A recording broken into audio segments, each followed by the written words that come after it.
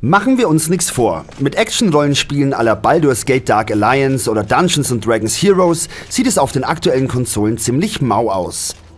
Diese Dürre ist jetzt endlich vorbei, denn mit Sacred 2 erscheint ein Genrevertreter auf PS3 und 360, den sich Erfahrungspunktesammler auf keinen Fall entgehen lassen dürfen. Das Spiel ist letztes Jahr bereits auf dem PC erschienen, die Konsolen werden mit einer 1 zu 1 Umsetzung bedient. Ihr seht hier übrigens die Version für Microsofts Konsole, die PS3-Fassung hat es leider nicht rechtzeitig zum Test geschafft. Sacred 2 entführt euch in eine unfassbar große Welt, in der Unmengen an Aufgaben auf euch warten. Zu Beginn des Spiels entscheidet ihr euch für einen von sechs Klassen. Je nachdem, ob ihr euch für Schattenkrieger, Hochelfe, Triade oder Inquisitor entscheidet, legt ihr auch gleich den Grundstein für eure Kampfstrategie. Eine Klasse ist eher die grobschlächtige Kämpfernatur, während die andere Klasse eher magische Fähigkeiten bevorzugt und so weiter und so fort. Zusätzlich wählt ihr auch noch einen Schutzgott, der euch gleich zu Beginn bestimmte Aktionen ermöglicht, wie zum Beispiel Blitze zucken zu lassen. Alles steigt und fällt in Sacred 2 mit der Charakterentwicklung. Erfahrungspunkte sammelt ihr wie gewohnt durch Kämpfe und bestandene Quests. Von beiden gibt es in diesem Spiel mehr als genug. Über 500 Missionen warten auf euch, die ihr von den Bewohnern der einzelnen Städte und Dörfer aufgetragen bekommt. Leider muss man schon fast sagen, handelt es sich bei einem Großteil der Missionen um Aufgaben der Art Finde Gegenstand X und bringe ihn zu mir zurück oder erledige Gegner X und hol dir dann die Belohnung bei mir ab. Dass die Aufgaben relativ uninspiriert ausfallen, ist zwar nicht schön, tut dem Spielspaß aber keinen Abbruch. Egal auf welche Mission ihr geschickt werdet, sobald ihr auf der riesigen Karte unterwegs seid, geht's ans Eingemachte. Die Gegnerpalette in Sacred 2 ist riesig und ihr werdet konstant angegriffen. Die Kämpfe finden genretypisch in Echtzeit statt. Ihr legt euch einzelne Kommandos auf die Tasten und das digitale Steuerkreuz. So greift ihr mit dem Schwert an, lasst Pfeile durch die Luft flitzen oder aktiviert einen Zauberspruch.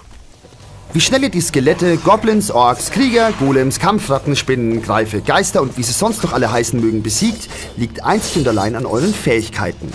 Mit jedem gestiegenen Level setzt ihr Erfahrungspunkte auf einzelne Attribute, so könnt ihr auch Kombos starten, euch eine untote Armee zur Seite stellen oder die ganz dicken Zaubersprüche auspacken.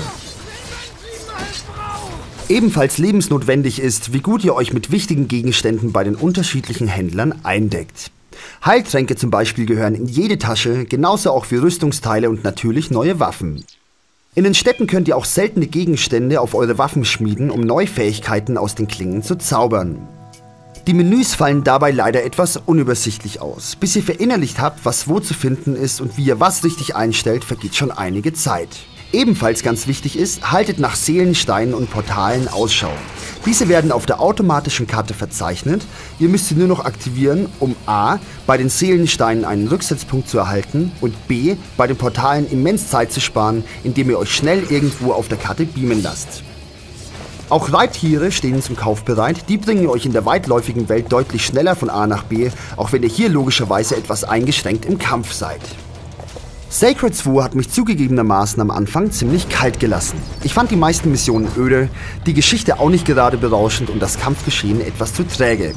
Aber Sacred 2 ist ein Spiel, dem man Zeit geben muss. Dann nämlich offenbart sich das toll durchdachte Levelsystem und eben auch die fantastische Welt, in der euer Abenteuer stattfindet. Kurz, es macht süchtig. Von der unfassbaren Langzeitmotivation ganz zu schweigen, die sich durch die sechs Klassen, ihren damit verbundenen Eigenheiten, den unzähligen Quests und quasi unendlichen Gegenständen ergibt. Ein dickes Lob verdient der Multiplayer-Modus. Hier gehen bis zu vier Recken an den Start. Der Clou dabei ist, dass Freunde jederzeit in das Spiel des Hosts ein- und aussteigen und sich direkt zum Haupthelden beamen lassen können. Technisch gesehen ist das Spiel zwar nicht unbedingt eine Granate, Grafik und Sound leisten aber verlässliche Arbeit, wenn es darum geht, Atmosphäre aufzubauen. Wie gesagt, als Happen zwischendurch ist Sacred 2 nicht geeignet. Auch alle Freunde von Final Fantasy und Co. werden damit nicht glücklich werden. Wer aber Lust auf zünftiges Erfahrungspunktefutter hat, wird hiermit eine ganze Weile beschäftigt sein.